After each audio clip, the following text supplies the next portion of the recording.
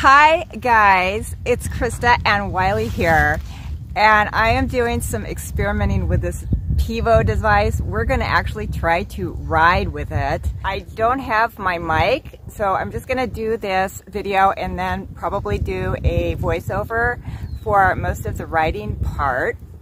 I just wanted to give you a summary and this is like totally unscripted. I haven't made out a script or anything for this video. But as you may recall from watching one of my other videos, Wily was diagnosed in March with navicular syndrome. We have done a very conservative treatment on him by putting wedge pads and natural balance shoes on his front feet. He continues to be lame. It's a subtle lameness and navicular no normally is a fairly subtle lameness. We're still going with the conservative treatment now. I may end up doing some more treatment later. I have not been riding him a lot and not that I can read his mind or anything because he's a horse, but he's a very engaging horse and he does like to at least have interaction with me. I don't know if he always likes to be ridden, but we are going to ride him today. And I think just the it's going to be very low impact. A couple of things that happen with navicular is the bone, which I'll I'll do a segue over to show you what his uh, navicular bones in his feet look like. And the bone kind of deteriorates a little bit but the other thing that happens, and this is more the cause of the pain, not the bone deterioration, but usually there's a couple of ligaments that go underneath or that are related to that navicular bone. There's two collateral ligaments and then there's a deep digital flexor tendon that goes down. Okay, I think there might be some tendons in there. I don't know. I'm not a vet. I know that there is a deep digital flexor tendon that goes around the foot. And I believe there's some also some side suspensory ligaments and stuff too that can be damaged if you do too much lateral work. Now, I'm a dressage rider, so I love lateral work, and I feel that it gets the horse to rebalance his weight more on the hindquarters, which will take his weight off the front end and will help him to stay sound because he has navicular on the front. Actually, it's his front right is the, the problem foot. But if I can get the weight, if I can get him to rebalance his weight a bit more towards the hindquarters, that will be a good thing. Now, I have read a couple of different books. One called Straightness Training. It's a, by a German guy, and I will put it in the I'll put it in the screen here. I can't remember what his name is. I took a clinic with him. And he does advocate things like lunging, which normally vets don't advocate stuff like that for navicular.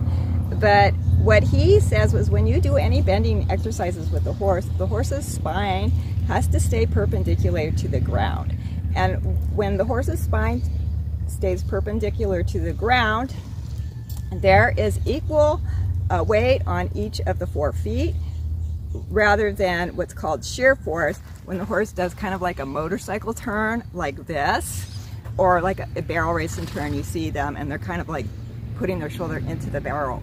So any turning that I do with uh, Wily here and I probably will do a little bit of leg yields which is not a lateral movement and it's good to get the hind, uh, hind leg underneath him which as long as he can get that hind leg underneath him, it will put his weight a little bit more towards the hindquarters from the forehand.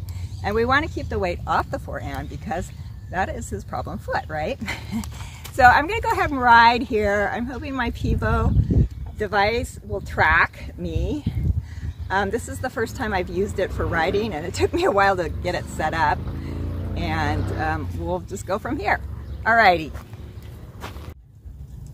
Wily is a quarter Arab cross, and I wanted to talk a bit about his conformation. I would not consider him really downhill, in which his croup is higher than the withers, as is a trait of many quarter horses. However, his neck is lower set than many other types of horses like warm bloods. This type of conformation tends to naturally add some additional weight to the front end in comparison to horses that have more uphill conformation. Here I'm doing some work with him where I'm getting him to stretch forward and down. When I do this, his head does act as a counterbalance to his body and weights the forehand. However, my objective with this exercise is to encourage Wily to engage his thoracic sling. Horses, unlike humans, do not have collarbones or any bony structures connecting their body to their front legs. So it's possible they can engage their pectoral muscles to lift the trunk and withers between the shoulder blades,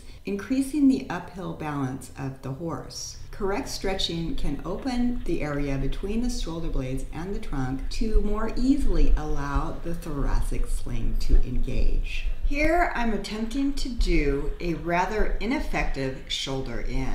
Executing a shoulder in movement will put some strain on the collateral ligaments of the hoof, but if done correctly will engage the horse's inside hind leg and take more weight on the hindquarters, lightening the forehand. Looking at the video, my hands are too high, which is most likely changing the position of the bit in his mouth and causing him to drop his head and weight the forehand. Since it's not working, I only do this movement for a few strides and then I move on.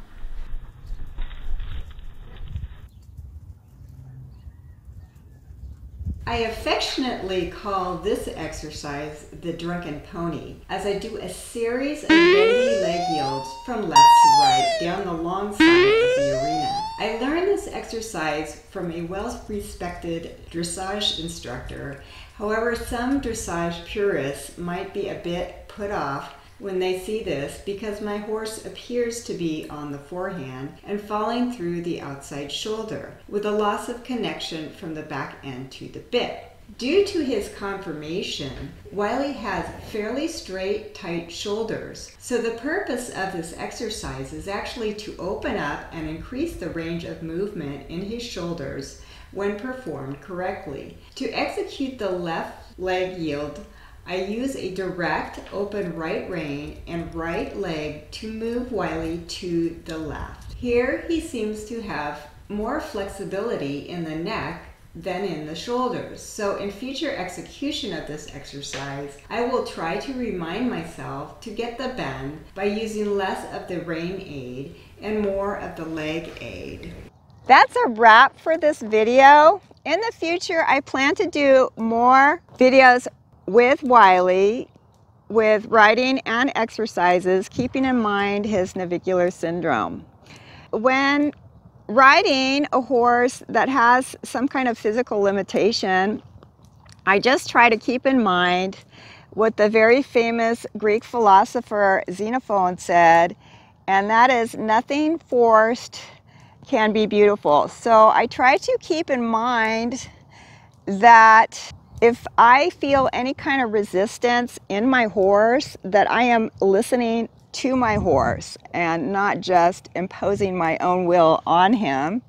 I make sure that I can work through any resistances in a soft and accommodating manner.